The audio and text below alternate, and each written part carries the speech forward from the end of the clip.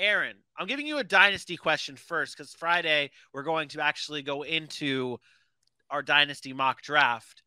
Travis Kelce, this is dynasty specific. What must you do with Travis Kelce? Now, I know you're shaking your head, and I'm going to specify about this. So I'm going to really get into this because uh, there is people, there are people out there wondering what to do with Travis Kelce, whether they need to in a dynasty league. He's getting older.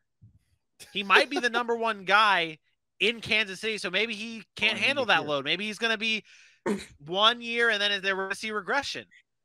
People are worried about Travis Kelce and the regression, and when you when you sell high before getting burnt. So answer that question basically. When do you sell high on a Travis Kelce, or do you just ride this ship on him for until it crashes and you go down with the ship? Um, I'm going to give you my answer in numeric form. Tra- with Travis Kelce, nine, nine. I don't need one, no. one, one, one, no, one, two. He's Let great. me finish. No, no, no. You No, asked your I- damn question. Let I me did not- finish. no. Let the man no. speak, Vinny. You Let asked the question. finish. You teased him. He's Let answering with. Roman numerals. I'm answering the question. Nine, nine, one, Nine, one, nine. one, one, one, two. You do nothing. You do nothing with the great tight end that is Travis Kelce. He stays on your roster until one, he retires, or until two, he can't move anymore. You're not this. Let me to all the dynasty players out there. Just because a player turns a certain age doesn't mean you have to get rid of them. Yes, is it better to get rid of a player before the decline happens? Absolutely. But tell that to the Tom Brady owners from six years ago.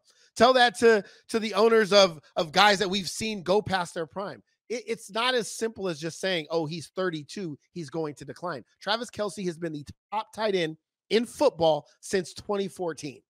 You're not doing anything with him. He's staying on your roster. When he starts to show that he's declining, then we can have that conversation. But until that happens, we're not having that conversation. I'm not going to sit on this show and allow the blasphemy in my best Stephen A impression to come out of your mouth talking about any notion that we should move on from Travis Okay. Kelce in Dynasty. So don't. So you are. So the the caliber of player that Travis Kelce is is a player that you go down with the ship no matter what. Okay, like You when if nothing. if if and when that day comes, you go. Well, Dylan, you're the future teller. You'd be able to tell me you, if it you just don't you're not going to fall off a cliff like most players don't fall off a cliff most players don't go from the best to oh my god you can't even put them on a roster right?